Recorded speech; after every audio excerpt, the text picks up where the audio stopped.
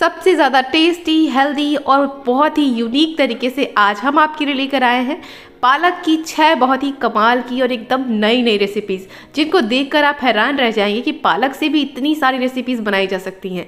आप पूरे सप्ताह इन रेसिपीज़ को ट्राई करेंगे, क्योंकि हर रेसिपी एक से बढ़कर एक है और खाने में इतनी ज़्यादा लाजवाब कि बच्चे से लेकर बड़े तक इन्हें चाव से खाएँगे। पूरी वीडियो लास्ट तक देखना, आपको हर एक रेसिपी इतनी ज़्यादा अलग लगेगी कि आप इसे तुरंत बनाना चाहेंगे।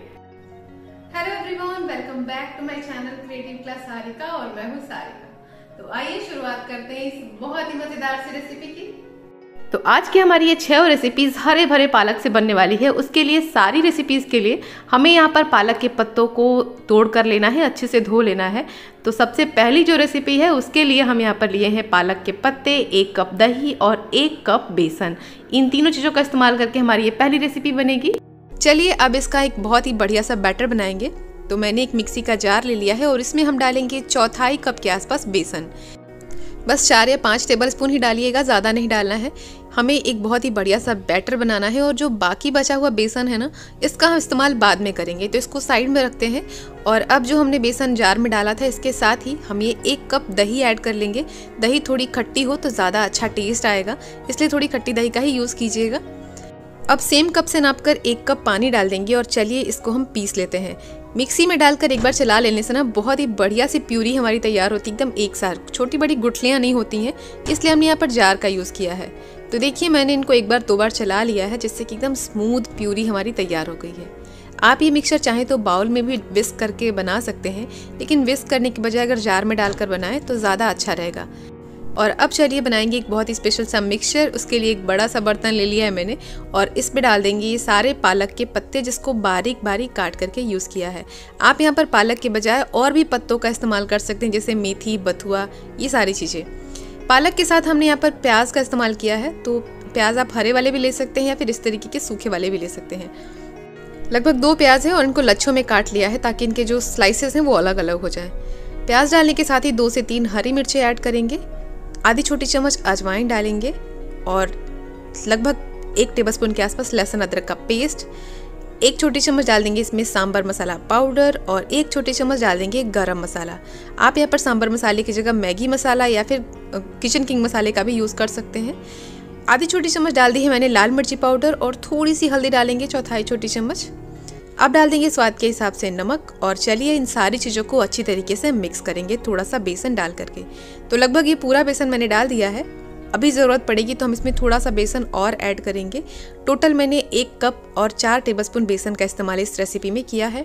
तो चलिए इसको मिला लेते हैं। पानी का इस्तेमाल आपको बिल्कुल भी नहीं करना है, क्योंकि पालक में काफ़ी सारा जूस होता है, जिससे कि मिक्सचर हमारा अच्छे से बाइंड हो जाएगा। तो देखिए, यहाँ पर मैं चार टेबल स्पून बेसन फिर से डाल रही हूँ, क्योंकि जो मिक्सचर हमारा बनकर तैयार हो रहा है, वो बहुत ही सूखा सूखा सा है। ये देखें जब तक ये अच्छे तरीके से बाइंड ना होने लगे, तब तक हम इसको मिलाएँगे अच्छे से। अब यहाँ पर डालेंगे चटपटा टेस्ट देने के लिए एक टेबलस्पून नींबू का रस। आप चाहें तो अमचूर पाउडर भी डाल सकते हैं और इनको अच्छी तरीके से मिला लेंगे।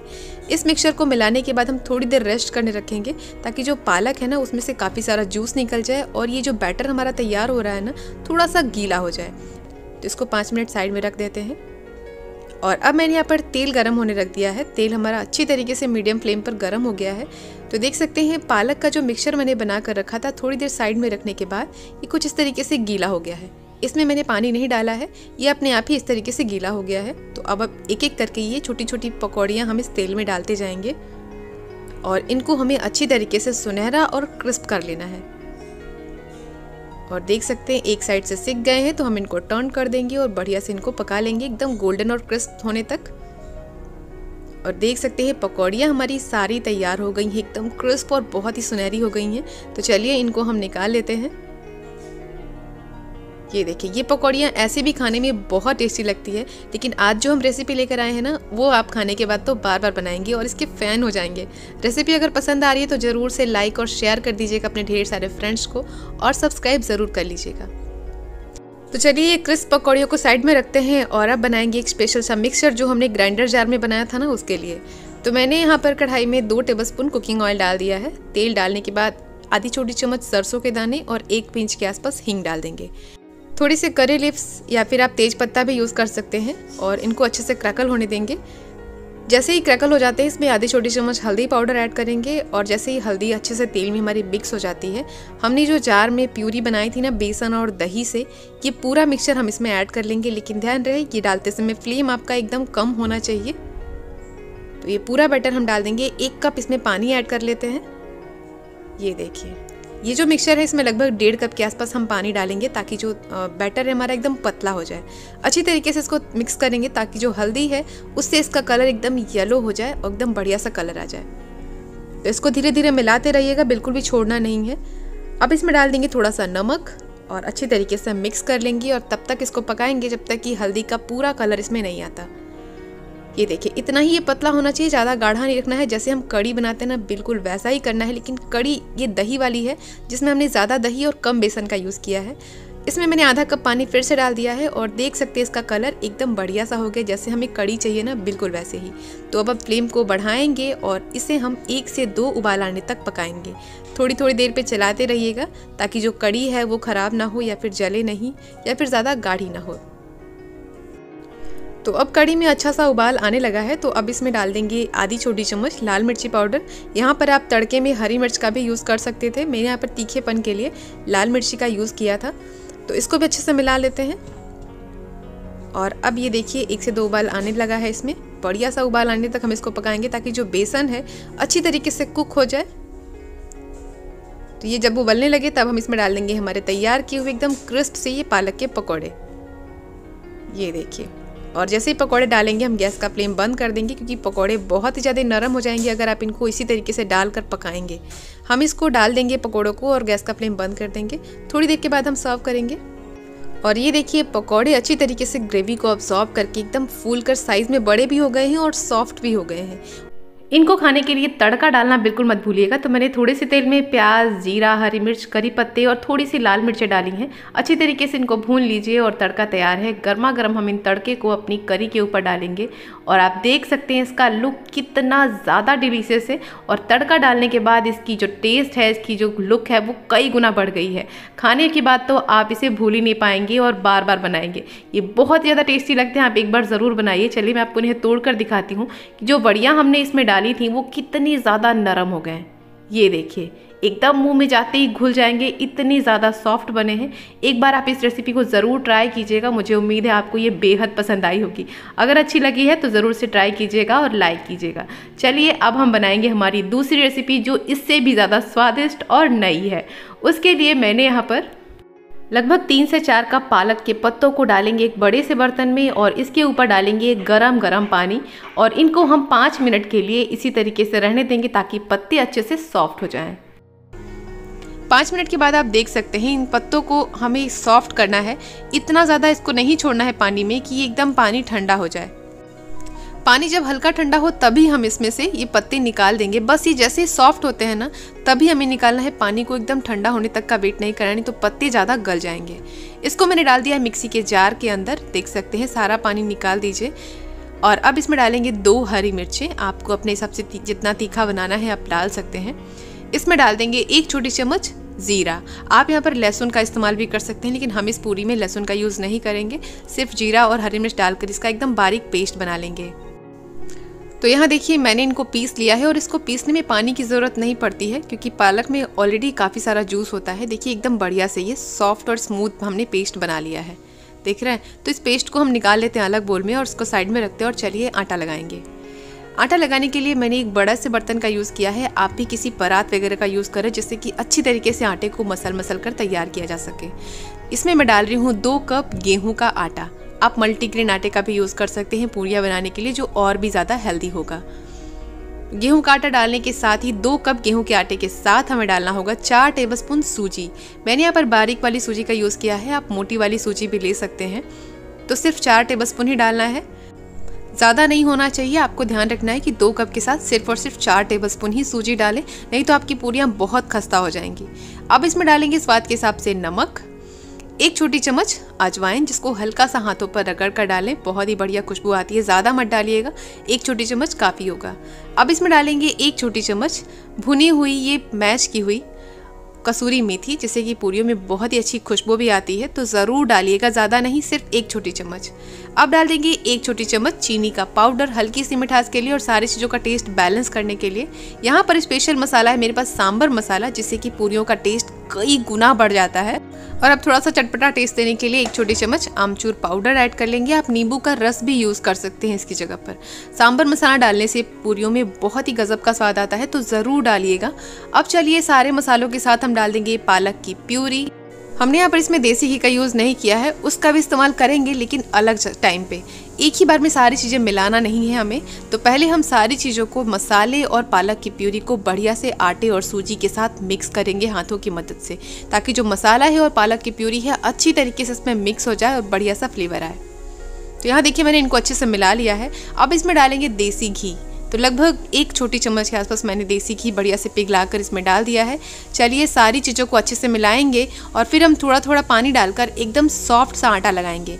पूरियों के लिए हमेशा टाइट आटा लगाते हैं, लेकिन हम यहाँ पर थोड़ा सा गीला आटा लगाएँगे क्योंकि हमने इसमें सूजी का इस्तेमाल किया है। इसलिए हमें चिपचिपा सा डो इसका तैयार करना है। आपको सुनकर हैरानी होगी कि पूड़ियों के लिए आटा चिपचिपा बनाएँगे तो पूड़ियाँ खराब बनेंगी। लेकिन ऐसा बिल्कुल भी नहीं है, आप देखेंगे एक एक स्टेप पर कि पूड़ियाँ कितनी सॉफ्ट और टेस्टी बनेंगी। तो अभी मैंने आटे को थोड़ा गीला लगा लिया है। अभी हम इनको थोड़ी देर रख देंगे जिससे कि बढ़िया से जो सूजी डाली थी वो बढ़िया से इसमें फूल जाए और इसका जो टेक्सचर है वो एकदम परफेक्ट हो जाए जैसा हमें पूरी के लिए चाहिए। तो पाँच मिनट के बाद हम इनको चेक करेंगे। और पाँच मिनट के बाद आप देख सकते हैं इसका टेक्सचर थोड़ा सा हार्ड हो गया हमारा डो। और अब क्या करेंगे, थोड़ा सा देसी घी या फिर तेल डालकर इनको हल्का सा मल लीजिए, गूथ लीजिए, जिससे कि एकदम ये नरम से हो जाएँ। और फिर हम इनकी गोल गोल सी पूरियाँ के लिए लोई तैयार कर लेंगे। देखिए, एक ही साइज़ के मैंने छोटी छोटी लोइयाँ तैयार कर ली है, ताकि जो पूरियाँ बने वो एक समान बने और फूली फूली बने। अब इनको बेलने के लिए सूखा आटा नहीं, थोड़ा सा तेल डालें और पूरियाँ जैसे आपको बड़ी साइज़ की, छोटी साइज़ की पसंद हो, उनको बेल लीजिए। हमेशा पूरियाँ डालते समय ध्यान रहे कि तेल आपका परफेक्ट गर्म होना चाहिए। देख रहे हैं, मैंने इस तेल में एक लकड़ी का स्पैचुला डाला था, जिससे कि बढ़िया से बबल्स आ रहे हैं तो ये परफेक्ट टाइमिंग है पूड़ियाँ डालने का। अगर आप कम गरम या हाई गरम में पूड़ियाँ डाल देंगे ना तो अच्छी नहीं बनेंगी, फूलेंगी भी नहीं और ज़्यादातर तेल पी लेती हैं। तो यहाँ पर गर्मा गर्म हम ये पूड़ियाँ इसमें इस तरीके से हल्की सी दबाएँगे। और आप देखेंगे एकदम बलून की तरह फूल कर तैयार होती है एक एक पूरी। एक भी नहीं फूटेगी, इसकी गारंटी ले लो आप। सारी पूरियाँ इस तरीके से लाल लाल थोड़ी सी कर लीजिए और देख रहे हैं कितनी मज़ेदार तरीके से फूल कर तैयार हो रही हैं। मैं आपको कई सारी पूरियाँ तलकर लगातार दिखाऊँगी कि हर एक पूरी फूल कर तैयार हो रही है। सारी पूरियाँ बलून की तरह फूल कर तैयार होती हैं और आप इसको घंटों भी रख देंगे ना तो भी ये पिचकेंगी नहीं फूली फूली ही रहेंगी जब तक आप चाहें। तो चलिए सारी पूरियाँ हम ऐसे ही तैयार कर लेते हैं। और ये लीजिए, आपकी फूली फूली मस्त मसालेदार पालक की पूरियाँ तैयार है। देखिए पूरियाँ चारों तरफ़ से कितनी बढ़िया से सीखी हुई हैं और फूली फूली जब तक आप इनको चाहें, वैसे ही ये फूली फूली बनी रहेंगी। मैं आपको इन्हें तोड़ कर दिखाती हूँ। ये देखें, बाहर से बस ये क्रिस्प दिख रही थी, अंदर से एकदम नरम है। देख रहे हैं? बहुत ही सॉफ्ट बहुत बहुत फ्लेवरफुल और बहुत ही ज़्यादा टेस्टी। इसमें जो मसाले डाले हैं, उससे ये जो पूरी है, वो कई गुना टेस्टी हो गई है। तो इसी तरीके से ये पालक की पूरियाँ बनाइए। देखना सभी को पसंद आएँगी। किसी भी सब्ज़ी के साथ आप इन्हें अचार के साथ परोस सकते हैं। रेसिपी पसंद आई तो लाइक ज़रूर करना। चलिए अब बनाएँगे एकदम नए तरीके की पालक वाली गोभी, जिसको आपने आज से पहले कभी नहीं खाया होगा। उसके लिए मैंने दो गोभी ली है। उनको, इनकी जो फूल है वो निकाल कर गर्म पानी में इनको डूबने के लिए रख देंगे, ताकि जो गोभी है वो अच्छे से क्लीन हो जाए। थोड़ी देर के बाद आप देख सकते हैं गोभी एकदम बढ़िया से चमक रही है। तो अब इसको निकाल लेंगे हम प्लेट में और चलिए बनाएँगे मज़ेदार सा पेस्ट। और ये पेस्ट बनने वाला है पालक से। तो मैंने यहाँ पर दो से तीन कप पालक डाल दिया है। आप अपने हिसाब से कम ज़्यादा डाल सकते हैं। पत्ते ही लेने हैं, डंठल नहीं लेना है। अच्छे से धोकर लेना है और अब डालेंगे तीन से चार लहसुन की कलियाँ। लहसुन डालने के साथ ही हम इसमें डालेंगे थोड़े से काजू ताकि बढ़िया क्रीमी टेस्ट आए। इसलिए मैंने काजू लिया है। अगर आपके पास काजू नहीं है तो आप फ्रेश क्रीम का इस्तेमाल भी कर सकते हैं इस रेसिपी में। तो ये मैंने लगभग 10 से 12 काजू डाल दिए हैं और अब चलिए थोड़ा सा पानी डालकर हम इसका एकदम स्मूथ सा प्यूरी तैयार करेंगे। तो ये देखिए, हमने बढ़िया सा पेस्ट तैयार कर लिया, एकदम ग्रीन ग्रीन लग रही है ना, बढ़िया। इस हेल्दी से पेस्ट को अभी रख लेते हैं साइड में और चलिए बनाते हैं हम इस बहुत ही शानदार सी सब्ज़ी को।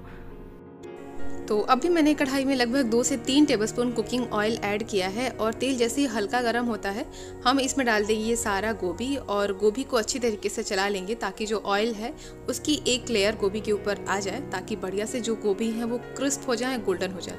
तो इसको हम ढक देंगे और थोड़ी थोड़ी देर पर चलाते हुए इनको फ्राई कर लेंगे। तो यहाँ देखिए, थोड़ी देर मैंने ढक दिया था और इनको बीच बीच में चलाते रहना है ताकि ये अच्छी तरीके से चारों तरफ़ से सीख सकें और देख सकते हैं गोभी जो है वो बढ़िया से गोल्डन हो गए हैं, इनके ऊपर स्पॉट्स आ गए हैं। तो अब ये सारा गोभी हम निकाल लेंगे अलग प्लेट में। ये देखिए, इस स्टेज पर गोभी को हम निकाल लेना है, ज़्यादा नहीं भुनना है। अगर आप आलू का इस्तेमाल कर रहे हैं तो आलू को भी इस तरीके से फ्राई करके लेना है। अब जो कढ़ाई में थोड़ा सा तेल बच गया था, उसमें मैंने दो टेबलस्पून तेल और ऐड किया है और अब तेल जैसे ही गर्म होता है, इसमें डालेंगे एक छोटी चम्मच ज़ीरा। आधी छोटी चम्मच डाल देंगे इसमें सरसों के दाने, जो कि बहुत इंपॉर्टेंट है इस रेसिपी के लिए, ज़रूर डालिएगा। अब मैंने लिया है एक इंच अदरक का टुकड़ा, जिसको बहुत ही बारीक बारीक से चॉप किया है। और तीन से चार हरी मिर्चियाँ, जितना आपको तीखा पसंद हो, आप डालिएगा। तो मैं यहाँ पर थोड़ी सी रेसिपी को क्रीमी बना रही हूँ, इसलिए थोड़ा सा तीखा मैं ज़्यादा बनाऊँगी। तो चार हरी मिर्चें मैंने ली हैं। अच्छी तरीके से इनको भून लेंगे। जैसे कि अदरक का कच्चा टेस्ट निकल जाए। आप चाहें तो चॉप करके लहसुन भी ले सकते हैं इसमें। जैसे ही सारी चीज़ें भून जाती हैं, हम इसमें डालेंगे प्याज। बारीक कटा हुआ तो लगभग डेढ़ मैंने प्याज लिए हैं बड़े साइज़ के और इसको बहुत ही बारीक बारीक से चॉप किया है। सारी प्याज को हम इस तेल में डाल देंगे और इन्हें भी हमें बढ़िया से गोल्डन और सॉफ्ट होने तक पकाना होगा। प्याज को जो है वो कच्चा टेस्ट बिल्कुल नहीं रहना चाहिए, इसलिए प्याज को थोड़ी देर ज़्यादा पकाना है ताकि अच्छे से नरम हो सके और गोल्डन हो सके। तो देख सकते हैं, प्याज हमारे अच्छी तरीके से भुन गए हैं। बढ़िया से एकदम कच्चे टेस्ट नहीं रहे इसमें। तो अब इसमें थोड़े से सूखे मसाले ऐड करेंगे। आप चाहें तो यहाँ पर टमाटर का पेस्ट डाल सकते हैं, लेकिन पहले हम सूखे मसाले भुनेंगे। तो मैंने एक छोटी चम्मच धनिया पाउडर डाला है। ये मैंने चाट मसाला ली हुई है, आधी छोटी चम्मच के आसपास। कश्मीरी लाल मिर्च पाउडर डालेंगे एक बड़ा चम्मच। इससे बहुत ही बढ़िया कलर आएगा, थोड़ी सी हल्दी। कश्मीरी लाल मिर्च पाउडर इसलिए डाला है मैंने ताकि सब्ज़ी का कलर हरा ना हो, थोड़ा सा रेड में आए। अब डालेंगे इसमें किचन किंग मसाला एक छोटी चम्मच के आसपास, और ये सारे मसालों और सारी इंग्रेडिएंट के लिस्ट आपको वीडियो के नीचे डिस्क्रिप्शन में मिल जाएँगे, ताकि आपको ये रेसिपी बनाने में ईजी हो जाए। जैसे ही मसाला एक मिनट के लिए भून जाता है, हम इसमें ये ग्रीन वाला पेस्ट जो हमने पालक से बनाया है, वो पूरा हम इसमें ऐड कर लेंगे, और अच्छे तरीके से मसालों के साथ मिक्स करके इनको तब तक पकाएँगे जब तक इनका कलर चेंज ना हो जाए, और ये जो ग्रीन पेस्ट है, वो कश्मीरी लाल मिर्च की वजह से आप देखेंगे, थोड़ी देर के बाद ही एकदम बढ़िया भुनकर तैयार होगा। तो इस पेस्ट को हमें अच्छी तरीके से पकाना होगा जब तक ये तेल ना छोड़ दे साइड से। तो एक जगह इकट्ठा कर लिया मैंने, चलिए ढक देते हैं और फ्लेम को एकदम कम कर लेंगे ताकि ये अच्छी तरीके से भुन जाए और थोड़ा सा ड्राई हो जाए। तो यहाँ देखिए मैंने तीन चार मिनट के लिए इनको धीमी आँच पर छोड़ दिया था और ये बढ़िया से ड्राई हो गया है। अच्छी तरीके से ये हमारे पालक का पेस्ट भुन करके देख सकते हैं, तैयार हो गया है। तो अब इस स्टेज पर हमें डालना होगा टमाटर की प्यूरी। तो अगर आप टमाटर का यूज़ करना चाहते हैं तो डालें, नहीं तो आप टमाटर को स्किप कर सकते हैं। तो मैंने दो बड़े साइज़ के टमाटर लिए थे, जिसको मैंने अच्छी तरीके से पीस करके यूज़ किया है। तो ये पूरा पेस्ट मैं इसके अंदर ऐड कर लूँगी। टेस्ट के अकॉर्डिंग नमक डाल लेते हैं और अब चलिए सारी चीज़ों को अच्छी तरीके से मिक्स करेंगे। और अब इस मसाले को, इस पेस्ट को तब तक हमें भुनना है, जब तक कि जो टमाटर है वो भी अच्छे से कुक हो जाए और ये पूरा मसाला जब तक तेल नहीं छोड़ता, यानी कढ़ाई को छोड़ने ना लगे, तब तक हम इसे पकाएँगे। तो ये देखिए तीन चार मिनट और मैंने भून लिया है और देख सकते हैं मसाले हमारे बहुत ही खुशबूदार और अच्छी तरीके से भुनकर तैयार हो गए हैं। ये जो पेस्ट है, अगर आपको ग्रीन ही चाहिए तो आप इसमें काश्मीरी लाल मिर्च का इस्तेमाल और हल्दी का इस्तेमाल नहीं करेंगे या फिर कर रहे हैं तो बहुत ही थोड़ा करिएगा। अच्छी तरीके से मसालों को मैंने मिला लिया है। अब इसमें बारी आती है पानी डालने की। तो मैं यहाँ पर लगभग आधा कप के आसपास पानी डालूँगी ताकि जो ग्रेवी है वो हल्की सी पतली हो जाए और फिर हम इसमें डालेंगे हमारी भुनी हुई गोभी। तो ये सारा गोभी मैं इसके अंदर ऐड कर लूँगी। अगर आपने आलू का इस्तेमाल किया है तो आलू भी आप इस स्टेज पर डाल सकते हैं। चलिए, सारे मसालों को गोभी के साथ अच्छी तरीके से मिलाएँगे और अब इसको अच्छी तरीके से हमें कुक करना होगा, क्योंकि जो गोभी है, वो भी कच्ची है। तो इनको अब ढक देते हैं और फ्लेम को एकदम कम करके पाँच छः मिनट तक वेट करेंगे। और ये देखें, पाँच से छः मिनट के बाद सब्ज़ी का लुक देखिए। ढक्कन हटाते ही इतनी लाजवाब इसकी खुशबू है और इसका टेस्ट तो बहुत बहुत आसम है, इसको देख के ही लगता है। देख रहे हैं, कितनी ज़्यादा डिलीशियस लग रही है। तो अब बस गैस का फ्लेम बंद करेंगे और चलिए चलते हैं इनको साफ़ करने के लिए।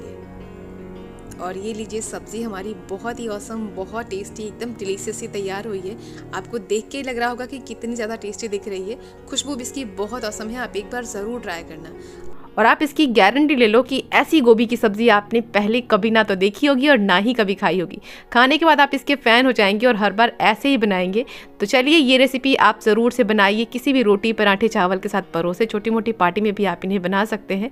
चलिए बनाएँगे हमारी और भी नई नई रेसिपीज़ तो इस रेसिपी को बनाने के लिए सबसे पहले हम एक पेस्ट बनाएँगे। तो एक मिक्सर ग्राइंडर जार में डालेंगे हरे धनिए के पत्ते, लगभग चार टेबल स्पून के आसपास। तो मैंने हर दिन एक पत्ते डाल दिए, आप चाहे तो पुदीना भी ऐड कर सकते हैं इसमें। दो लहसुन की कलियाँ और एक से डेढ़ इंच जितना अदरक का टुकड़ा। आप चाहें तो लहसुन को हटा सकते हैं, अगर नहीं खाते हैं तो। दो हरी मिर्च डालेंगे, तीखा आप अपने हिसाब से एडजस्ट करें। इसके साथ ही जो सबसे इंपॉर्टेंट चीज़ है वो है इमली। ये मैंने एक बड़ा चम्मच के आसपास लिया हुआ है और इमली ज़रूर से डालिएगा, जो इसका स्वाद कई गुना बढ़ाएगी। आप अगर थोड़ा सा खट्टा मीठा चाहते हैं तो हल्का सा गुड़ या फिर चीनी भी डाल सकते हैं, एक छोटी चम्मच, जिससे इसका टेस्ट बहुत ज़्यादा बढ़ जाएगा। एक टेबलस्पून पानी डालेंगे और इसका हम एक बारीक सा पेस्ट तैयार कर लेंगे। तो चलिए, इनको हम पीस लेते हैं। ये देखिए पेस्ट हमारा बिल्कुल तैयार है। इनको हम निकाल लेते हैं एक बड़े से मिक्सिंग बोल के अंदर। ये देखिए, हमने इसमें नमक अभी ऐड नहीं किया है। अब मैं इसमें डाल रही हूँ चार से पाँच टेबलस्पून बेसन। बेसन की जगह पर आप चाहें तो गेहूँ का आटा भी ले सकते हैं। वैसे भी ये बहुत ज़्यादा टेस्टी बनते हैं।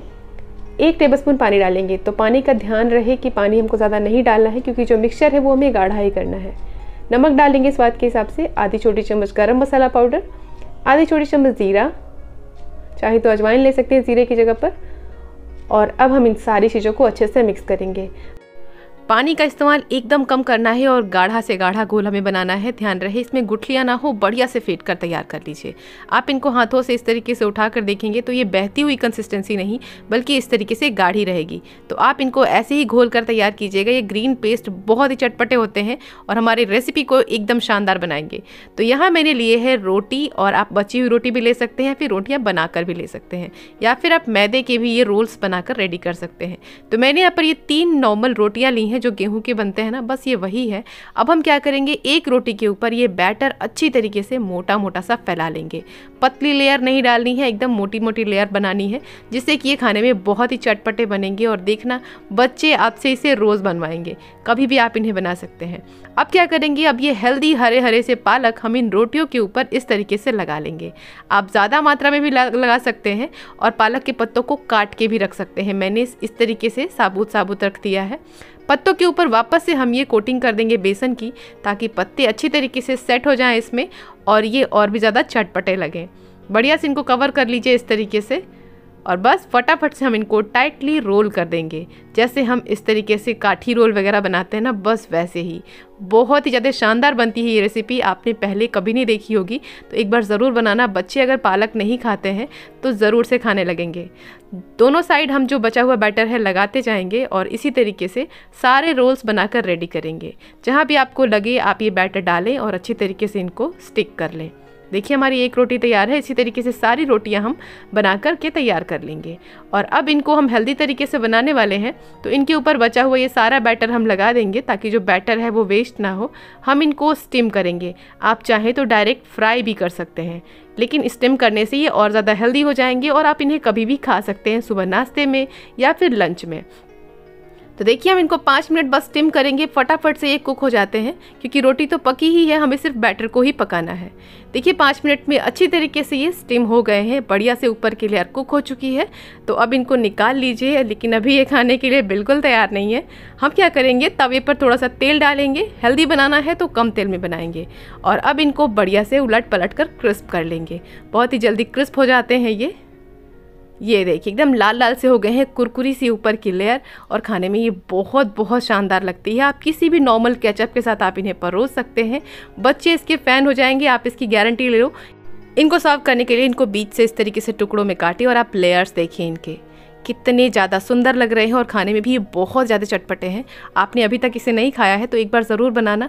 ये आपको बेहद पसंद आएगी। किसी भी केचप या चटनी के साथ परोस सकते हैं। तो ये रेसिपी अब आपको अच्छी लगी होगी तो ज़रूर से लाइक करना। चलिए, अब बनाएँगे हमारी नेक्स्ट रेसिपी जो और भी ज़्यादा टेस्टी और बहुत बहुत हेल्दी है। जिसके लिए हमें स्टफिंग बनानी है। तो मैं यहाँ पर एक कढ़ाई में डाल दिया है। थोड़ा सा घी या फिर तेल डाल दीजिए। जैसे ही अच्छे से गर्म हो जाए, इसमें डालें जीरा और दो से तीन हरी मिर्चें। मिर्च जैसे ही भुन जाता है, इसमें डाल देंगे प्याज। तो मैंने पतले पतले प्याज काट के लिए है। तो एक बड़े साइज़ का प्याज डाला है हमने। प्याज अगर आप नहीं खाते हैं तो आप इनको हटा सकते हैं। प्याज को अच्छी तरीके से हम तेल में भुनेंगे, जिससे कि जल्दी से भून कर एकदम गोल्डन और ट्रांसलूसेंट से हो जाए। और ये देखिए, प्याज हमारे हल्के से भुन गए हैं तो अब इसमें लहसुन, अदरक का पेस्ट ऐड कर देंगे एक बड़ा चम्मच और इनको भी हम प्याज के साथ ही भून लेंगे ताकि जब प्याज सुनहरे हो जाए, लहसुन, अदरक भी पक जाए। जैसे ही भून जाएँगे, हम इसमें डालेंगे थोड़े से मसाले, जिसमें मैं डाल रही हूँ एक छोटी चम्मच ज़ीरा पाउडर, आधी छोटी चम्मच लाल मिर्ची पाउडर, एक चौथाई छोटी चम्मच गरम मसाला या किचन किंग डाल सकते हैं। और एक तिहाई छोटी चम्मच हल्दी पाउडर। अब यहाँ पर इसमें बाइंडिंग के लिए डालेंगे दो बड़ा चम्मच बेसन। बेसन डालने से टेस्ट भी बढ़ता है और अच्छी सी इसमें बाइंडिंग भी आती है। तो ज़रूर से डालिएगा और अब इन सारे मसालों को अच्छी तरीके से हम मिक्स करेंगे और थोड़ी देर पका देंगे ताकि बेसन बढ़िया से भुन जाए। इनकी खुशबू से ही पता चलेगा कि बेसन अच्छे से कुक हो गया है। जैसे ही सारी चीज़ें पक जाती हैं, इसमें हम डाल देंगे पालक ढेर सारे।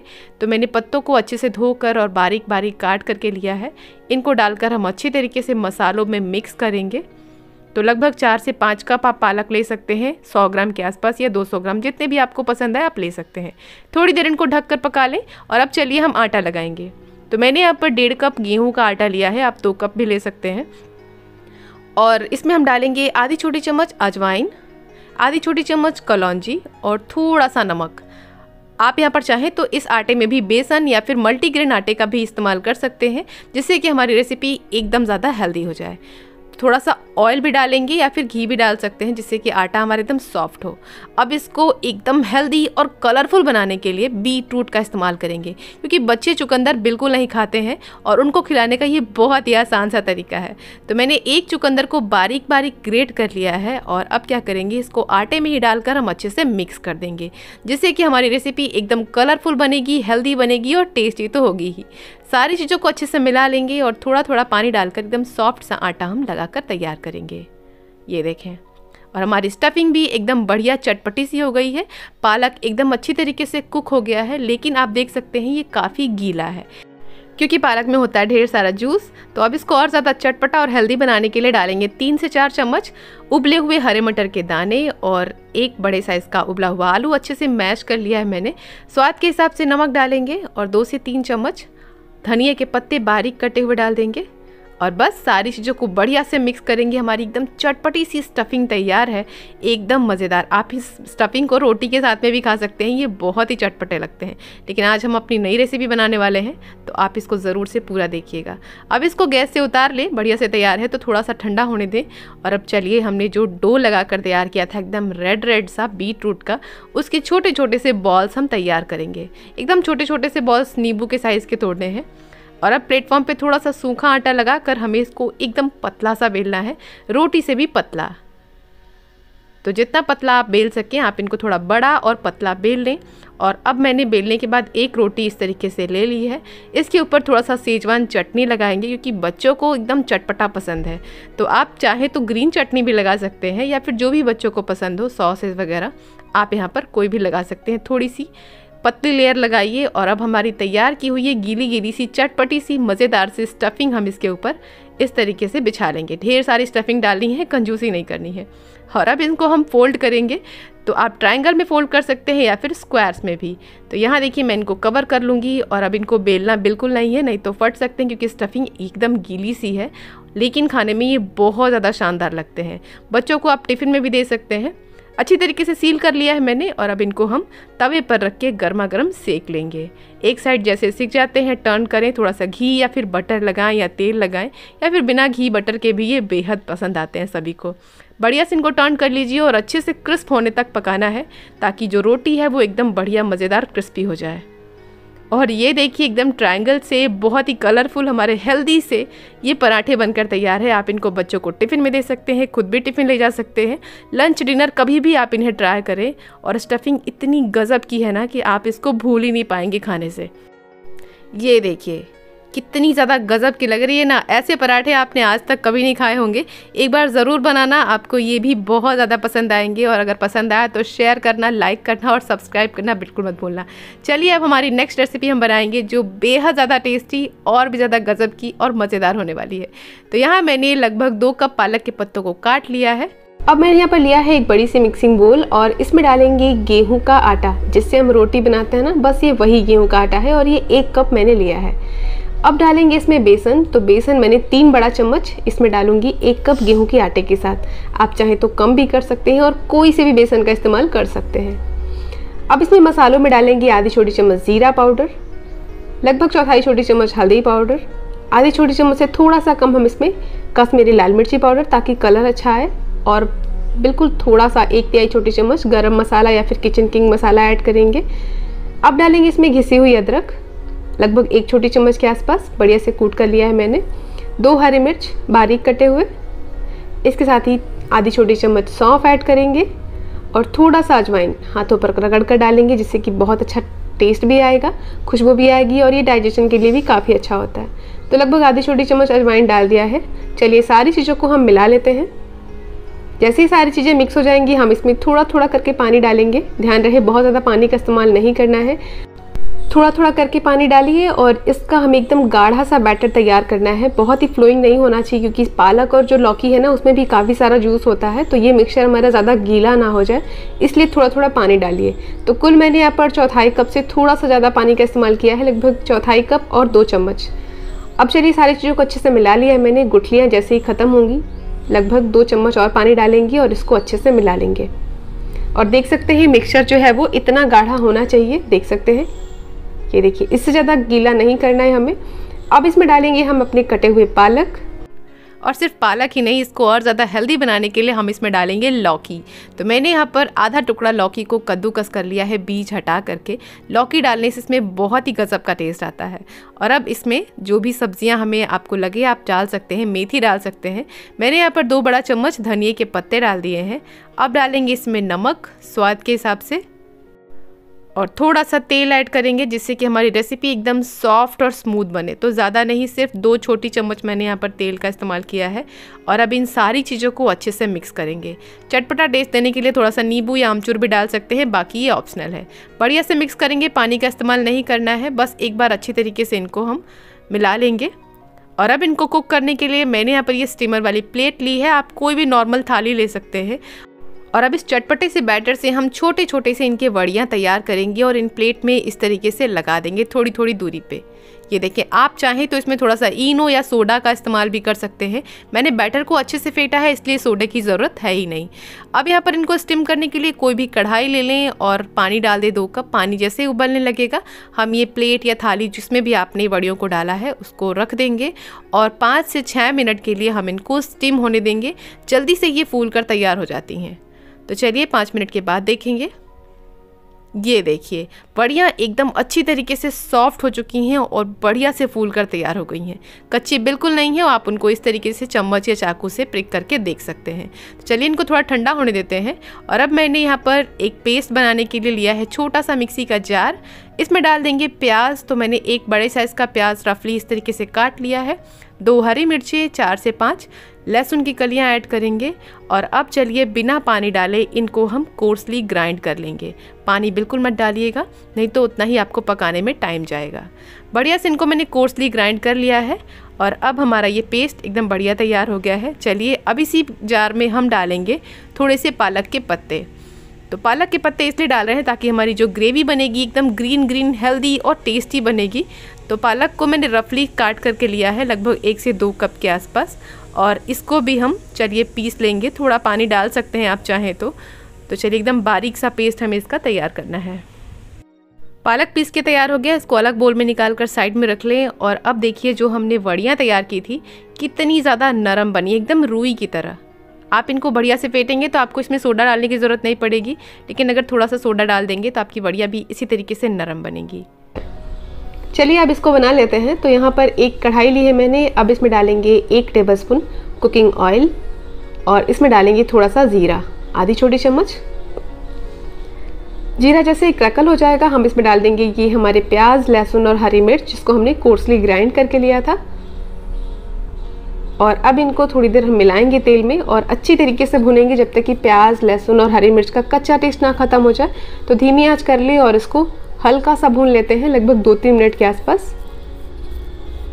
और ये देखिए मिक्सचर हमारा अच्छी तरीके से भून गया है। अब इसमें से क्रैकल्स नहीं आ रहे मतलब कड़क नहीं रहे ये और एकदम स्मूथ से हो गए हैं मतलब ये बढ़िया से कुक हो चुके हैं।